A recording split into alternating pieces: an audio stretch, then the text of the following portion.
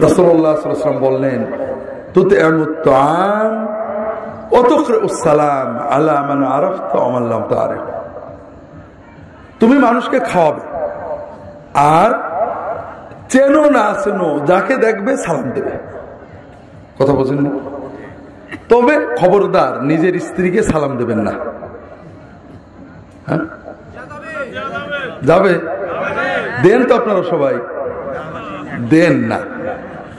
আমরা হুজুরকে সালাম দিই মানে পীর সাহেবকে সালাম দিই, মানুষকে সালাম দিই, কিন্তু বউ স্বামীকে সালাম দেয়। আপনাদের এলাকায় অনেক আছে নাকি? অল্প, কম। স্বামী বউকে সালাম দেয়, কম, ঠিক না? কারণ এটা লজ্জা বলে তো জিনিস আছে, তাই না? লজ্জার একটা তো ব্যাপার আছে।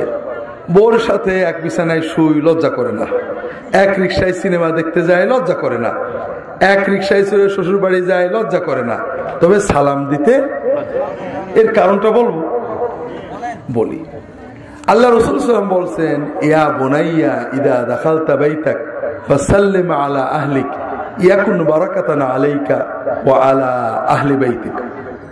বাবা, তুমি যখন বাড়িতে ঢুকবে তখন তোমার স্ত্রীকে সালাম দেবে। যে বাড়িতে স্বামী স্ত্রীকে সালাম দেয়, স্ত্রী স্বামীকে সালাম দেয়, বাড়ির সদস্যরা একজন আরেকজনের সালাম দেয়, আব্বা আম্মা ছেলে মেয়েকে সালাম দেয়, ছেলে মেয়ে আব্বা আম্মাকে সালাম দেয়, ওই বাড়িতে আল্লাহ সবসময় বরকত নাজির করে দুই নম্বর হলো, হাদিস শরীফে আসছে, ইন্নাল্লাহ দামিনুন থালাথা তিন শ্রেণির মানুষকে আল্লাহ নিজে জিম্মাদার হন। তার একজন হলেন মান্দাখালা বাইতাহুবে সালাম যে ব্যক্তি বাড়িতে সালাম দিয়ে ঢুকবে, বাড়ি ঢোকার সময় তার স্ত্রীকে, তার স্বামীকে, ছেলেকে, আব্বাকে, আম্মাকে সালাম দিয়ে ঢুকবে। আল্লাহ তালা ওই বাড়িটাকে, ওই ব্যক্তিটাকে হেফাজত করবে কয়টা গেল? একটা হলো বরকত আর একটা হলো হেফাজত। তিন নম্বর আর চার নম্বর আমরা জানি। একজন আরেকজনের সালাম দিলে সব হয়, জানেন না? আর সালামে আমরা কি বলি? আসসালাম আলাইকুম রহমতুল্লাহ বারাকাত তার মানে তোমার উপর আল্লাহর গজব হোক, ঠিক না? তা কি? তোমার উপর আল্লাহর রহমত হোক, বরকত হোক, শান্তি হোক, ঠিক না? এগুলো ভালো দোয়া না খারাপ দোয়া? আচ্ছা একজন বলল, তোমার এক লাখ টাকা হোক, এক কোটি টাকা হোক, কিন্তু শান্তি হবে না। আর একজন বলল, তোমার টাকা পয়সা না হলেও শান্তি হবে। আপনি কোন দোয়াটা চান কর শান্তি হলো টাকা পয়সা তো শান্তির জন্য ঠিক না? গুড তাহলে আপনি আপনার বউকে দিনের ভিতরে ৩০ বার দোয়া করলেন, শান্তি হোক, রহমত হোক, বরকত হোক, বউ আপনার দোয়া করল। এটা ভালো হলো না খারাপ হলো? তিরিশ বারের ভিতরে একবার যদি আল্লাহ কবুল করে নেয়, আমাদের লাভ না? তাহলে বউকে সালাম দিলে, স্বামীকে সালাম দিলে, আব্বা আম্মাকে সালাম দিলে, ছেলে মেয়েকে সালাম দিলে চারটে লাভ। বরকত, হেফাজত সবাব দোয়া, শান্তি। আমাদের লাভ না লস? একজনের লস। মাশা আপনারা খুব সচেতন।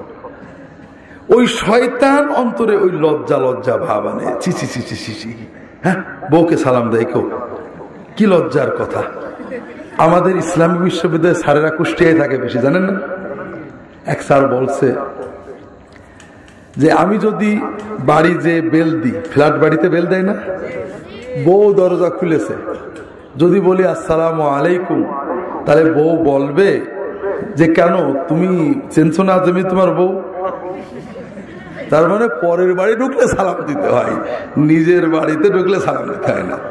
কথা বোঝেন না?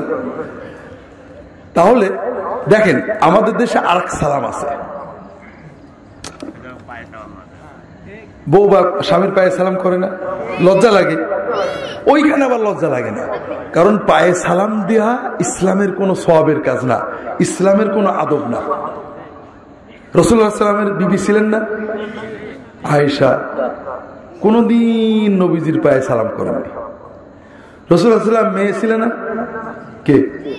হাতে কোনদিন বাপের পায়ে সালাম করেন রসুল্লাহ মুরিদ ছিলেন না? আবু বকর, ওমর, ওসমান, আলী সাহাবা কেরাম, কোনদিন নবীজির পায়ে সালাম করেন দুই একজন নতুন মুসলমান কাফের হয়ে আসছে, হঠাৎ এসে পায়ে চুমু খেয়ে ফেলেছে, মুসলমান হয়ে আর কোনদিন করেনি। যেহেতু এই কাজের ভিতরে কোনো সব নেই, বরং গুণা হবে, এই জন্য শয়তান এখানে বাধা দেয় কোনো লজ্জা লাগে না। কিন্তু আসসালাম আলাইকুম বলতে লজ্জা। এখন থেকে প্রশ্ন হলো, আজকে রাত্রে বাড়ি যে শয়তানের লজ্জা মতো চলবো না নবীর সুন্নত মতো চলবো? একটা আমল শেখা গেল, তাই না? আমি আসলে মনে মনে নিয়ত করলাম তফসিরুল কোরআন আমরা সুরা ফাতেহার তফসির করব। কথা কি বুঝতে